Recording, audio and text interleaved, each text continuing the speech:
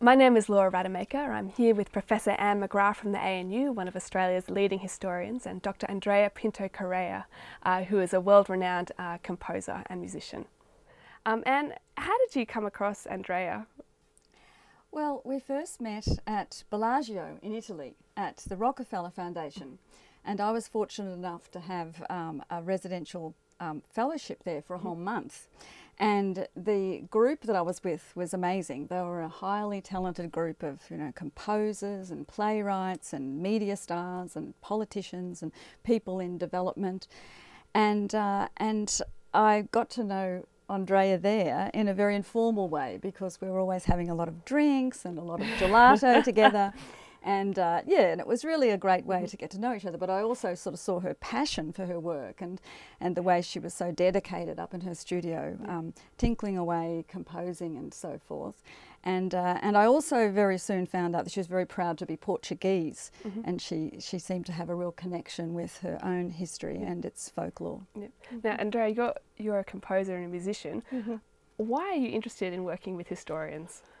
Well, you know, it's for me it's very interesting to work with people outside my field mm-hmm. because mm-hmm. they challenge me, they make me grow and think of ways of looking at my music and the world in a different angle, with mm-hmm. a different angle, and I think that's very healthy and positive. Just put myself in a different in, in a different position and, mm-hmm. and look at the world and look at my work also in a through a different lens. So that's that's very challenging always. Right. And what about you, Ann? What can an historian learn from a composer? Well, we're still starting to find that out. We don't quite know yet. I haven't even heard the premiere performance yet, which is going to be on Thursday of this wonderful piece that Andreia has written on uh, Pleistocene landscapes. And I've been doing work at Lake Mungo for quite some years now. And I shared that with the people at Bellagio. And, and it's very challenging to look at deep human time. But I think the role of a historian is to use your imagination not just uh, about what people did or what they ate in the past or mm. what sort of tools they made, but to try and think of the whole sensory experience of being human. Mm. And music and sound is very much part of that. And uh, musicians and composers like Andreia are always thinking in a very finely attuned way about how sound affects people.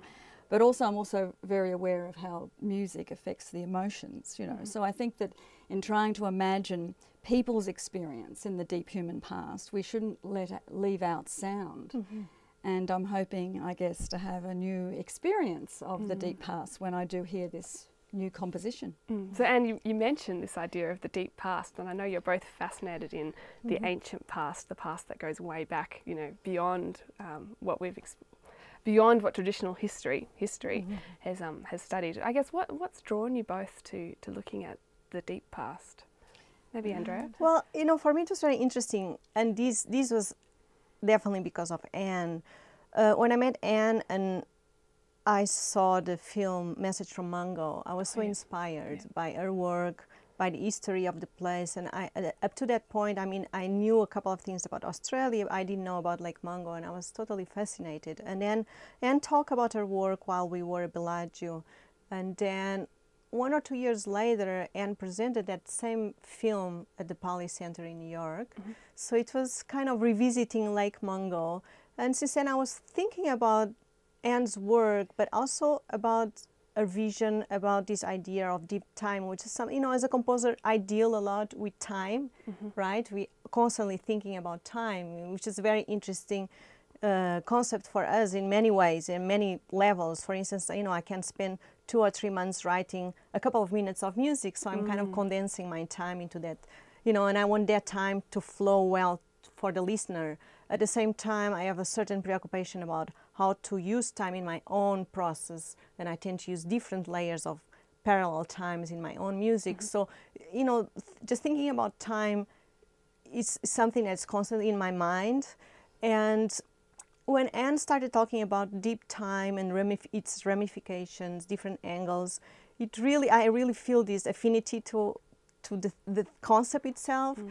and it just kind of expanded my horizon a little bit yeah. more. So it, it, it just, I, it, as I said before, it just is a these collaborations just keep keep feeding me into my work and giving me ideas and, and, a different sense of the world and history. Yeah. Yeah. As an historian, it makes me wonder how musical time can help us reconceptualize historical time and what kind of mm-hmm, mm-hmm. synergies there might be there. How about you, Ann? What did, what drew you to deep time? Well, I, I suppose, as I often say, I was trying to break the 1770 1788 barrier for Australia because it's as, as, though everybody believes Australian history began with either Captain Cook landing or Governor Phillip and mm. all the convicts arriving. And we constantly reinforce this by starting Australian history. Even, you know, historians interested in Aboriginal history still start it with the encounter with the Europeans. And it's like we can't have history without the European arrival. And I suppose I want to sort of break through that and think more deeply. And of mm. course, my visit to Lake Mungo the first time I went there some years back was uh, was a revelation because I could see time in the stratigraphy and the different colours, and then you saw things coming up to the surface, like a beautiful fresh shell that looked like it was only on a beach, any old beach, but then you realised it was actually a forty thousand year old beach that mm-hmm. that shell came from, and then you'd see other things coming up, you know, and of course the human remains they're very sensitive, so we don't talk about them or photograph them. But one thing that the scientists pointed out was otoliths, which are the inner ear, a calcium carbonate in the fish. And of course, I didn't think much about that. What's interesting about an ear, you know? And then you hang out with a musician and a composer, yeah. and you're going, "Well, this is very, very interesting." Were the fish hearing? And apparently, it's it's the scientists say, you know, they actually sensed gravity, they sensed linear movement through mm. this otolith, and, and, and apparently humans have evolved, you know, their hearing and ears through fish gills or something, mm. you know. So this is this kind of thing historians don't think about because we don't think in deep evolutionary time. But once we start to do a new collaboration with mm. someone mm. that, you know, it seems challenging, you think, well, what do you have in common? You instantly start to be stimulated and think yeah. in different ways. And, like, of course, the wind is something which is very ever mm. present. And perhaps Andre would like to say something about the windy day we had at. Uh, yes, I was going to ask your your composition that we're going to hear is inspired by the Australian landscape and your experiences in the landscape. Could you mm -hmm. could you tell so us a bit about that? It was a very interesting process because I actually wrote a piece before visiting Lake Mungo. Yeah. So throughout these years, so I met Ann in 2014, and I built up in my imagination what Lake Mungo yeah. was, right? So I built this idea of Lake Mungo. And it was interesting because when we got to Lake Mungo, I, I just felt that I, I, I, could not tell what was real, what was imaginary. You know, when you build something so much yeah. that when you actually see the place, it's just part of. I, I feel I felt truly transported to another time in a sense that we were walking and I was near some dunes for a while and and I could not tell if it was one hour went by, two hours, half an hour. So that was very interesting for me as a composer mm. that constantly uh, thinks about time to be in a situation that I lost track of time. I really didn't know what was now, what was past, and, and that was a very interesting experience. At the same time, I knew from the film, by watching the film, that the wind had a very important role in Lake Mungo. Mm. That the wind was and erosion, they were responsible for the uncovering of these new layers of history. Mm-hmm. And so the piece is really based on that. Different layers just surface and submerge. And at the same time, this idea of wind and erosion is it's always present. So uh, that's what conducts the whole piece. It's the idea of the wind and erosion. And of course, the piece was written for alto flute. Yeah. So that's the, per- in, the perfect instrument for this piece. And the soloist, I have to say, is Kiri Solis. Right. Yes, well, I'm very much looking forward to it. Thank you. And did you want to tell us about how you see landscape and time intersecting? Well, yes. Well, I suppose again, Mungo has lessons for us because it, we could actually see the dunes reforming mm. in this wind. It's an Aeolian landscape, which, of course, you know, so many of the terms in English go back to Greek myths. And, yes. and then I was also thinking of the sort of Portuguese connection, because mm-hmm. usually you don't think much of Portugal having much of an impact on Australian history. But then apparently the earliest winemakers were women from Portugal or something. And then there, of course, there's stories of the Portuguese navigators, mm-hmm. but you know, a lot of them aren't proven. And why aren't they proven? Because there's not written records, you know. But, mm-hmm. but sometimes there are visual clues and in ancient manuscripts and, and ancient maps. And there's this speculation of, well, were the Portuguese also here having encounters with Aboriginal people. But, um, but getting back to, before I answer your question, may I just comment a little bit on what Andreia said? I, I um, had seen her off in the distance, and I thought this is really good for her to have time just by herself at Mungo without me yabbering in her ear.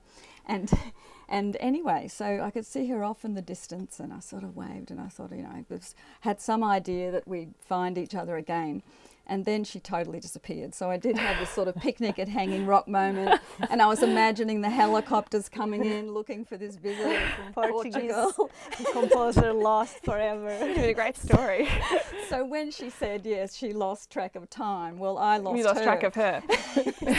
so, that, but uh, but anyway, that was uh, it's an interesting moment. But the same thing happened to me once when I was driving back from Mungo, Mm-hmm.